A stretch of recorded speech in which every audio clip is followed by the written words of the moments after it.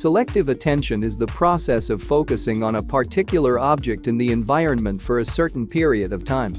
Attention is a limited resource, so selective attention allows us to tune out unimportant details and focus on what matters. This differs from inattentional blindness, which is when you focus hard on one thing and fail to notice unexpected things entering your visual field.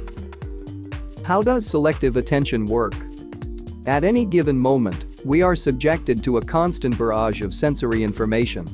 The blare of a car horn from the street outside, the chatter of your friends, the click of the keys as you type a paper for school, the hum of the heater as it keeps your room warm on a brisk autumn day.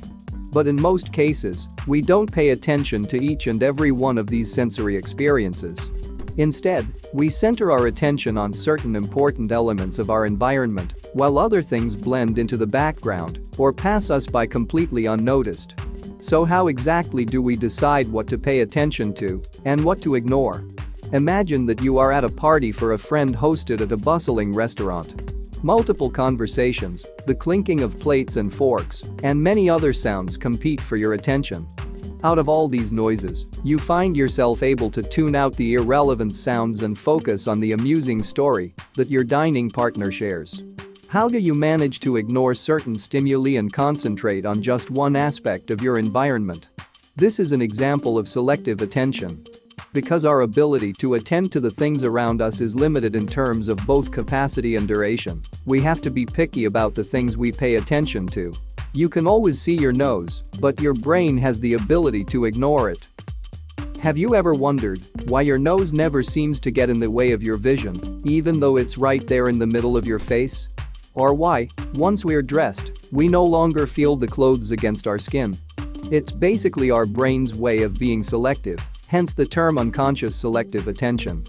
If, after all, our brain had to constantly be giving us up-to-date information on whether our nose was still in place or what clothes we're wearing, there would simply be no time for it to get on with the other important things like keeping us alive, so it uses unconscious selective attention and fools us into ignoring our noses because, in the scheme of things, they are not that important. For similar reasons, we don't always notice what's going on before our eyes. You can try an experiment at home with a friend. Show them a simple picture of a person against a colored background. Then, a couple of seconds later, show them the same person against a patterned background. The chances are, they won't even notice the difference. This obviously only works so long as they don't see you change the photos, and it's how magicians sometimes appear to do magic, using their knowledge about unconscious selective attention. This is also known as inattention blindness, and it is our brain's way of stopping us from seeing too much and overloading our minds. Imagine that you had something important to do like study or write a letter. How infuriating would it be if your brain was constantly telling you to look at your nose?